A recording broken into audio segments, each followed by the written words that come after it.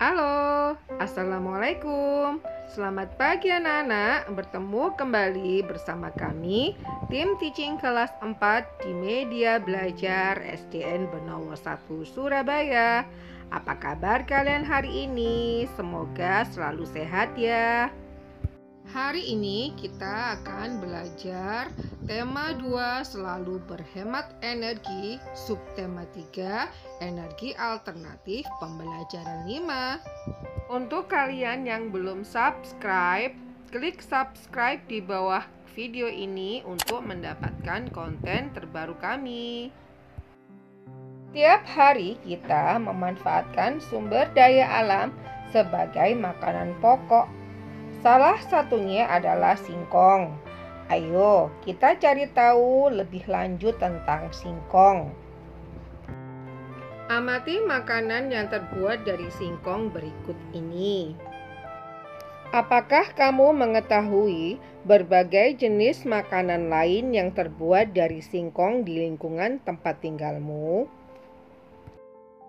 Di sekitar kita banyak sekali makanan yang diolah dari singkong. Misalnya keripik singkong, comro, misro, getuk, tape, dan donat. Indonesia merupakan daerah tropis yang kaya akan sumber daya alam. Salah satunya adalah singkong. Singkong mempunyai potensi besar untuk dikembangkan Singkong merupakan sumber kalori pangan yang murah. Singkong dikonsumsi sebagai salah satu makanan pokok oleh masyarakat.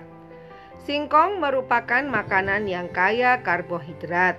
Terdapat kandungan gizi seperti protein, vitamin C, kalsium, fosfor, kalori, lemak, zat besi, dan vitamin B1 pada singkong. Dengan berbagai kandungan gizi yang terdapat pada singkong, maka singkong baik untuk dikonsumsi. Umbi singkong merupakan sumber energi yang kaya serat dan karbohidrat, namun miskin protein. Sumber protein justru terdapat pada daun singkong. Hampir semua bagian pohon singkong bisa dimanfaatkan, mulai dari umbinya hingga daunnya.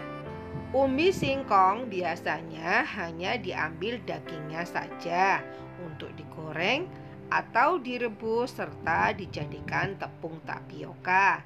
Bagian daunnya dijadikan sebagai sayuran. Kemudian bagian daun dan kulit bisa dijadikan sebagai makanan ternak. Singkong dapat digunakan sebagai sumber karbohidrat di samping beras. Selain dapat pula digunakan untuk keperluan bahan baku industri seperti tepung tapioka. Di sekitar kita banyak sekali makanan yang diolah dari singkong. Misalnya, keripik singkong, jomro, misro, getuk, tape, donat, dan lain-lain. Dan bahkan hasil olahan singkong tersebut menjadi mata pencaharian bagi sebagian masyarakat. Mulai dari bentuk usaha kecil, industri perumahan, hingga pabrik. Anak-anak, Tahukah kamu bahwa singkong juga dapat dijadikan sebagai energi alternatif? Selain dijadikan sebagai makanan, singkong dapat dijadikan sebagai bahan bakar alternatif yang dikenal dengan sebutan bioetanol. Bensin yang dicampur dengan bioetanol kualitasnya lebih baik Cukup tambahkan 10% dari total volume bensin. Berikut ini adalah manfaat penggunaan bahan bakar alternatif bioetanol untuk kendaraan bermotor. Pembakaran lebih sempurna. Gas buang menjadi lebih bersih. Tarikan lebih ringan.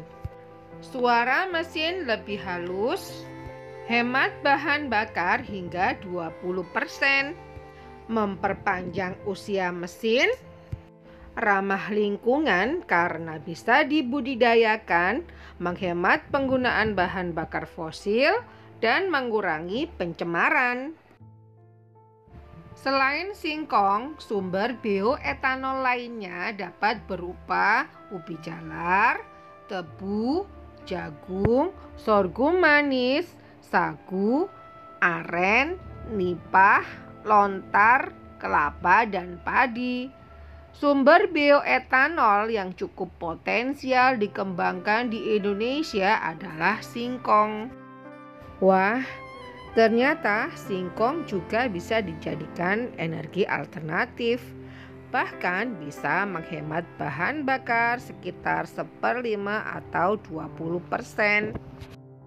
Anak-anak, di ujung pembelajaran kita hari ini kita akan menyanyikan syair lagu Kering Kering Kering Ada Sepeda. Perhatikan cara gurumu menyanyikan lagu tersebut. Kemudian, cermati penjelasan gurumu tentang tempo dan tinggi rendah nada. Perhatikan. Hitungan ketiga, kita mulai ya. Satu, dua, tiga. Kring kring kring ada sepeda, sepedaku roda tiga. Ku dapat dari ayah karena rajin belajar. Tok tok tok ada sepatu, sepatuku kulit lembu. Ku dapat dari ibu karena rajin membantu. Demikianlah pertemuan kita hari ini anak-anak. Semoga apa yang kita pelajari bisa bermanfaat untuk kita semua. Jangan lupa tetap jaga kesehatan kalian, jaga jarak, pakai masker saat beraktivitas di luar dan sesering mungkin cuci tangan kalian menggunakan sabun ya. Akhirul kalam, Wassalamualaikum warahmatullahi wabarakatuh. Sampai jumpa di pembelajaran berikutnya. Dadah. Música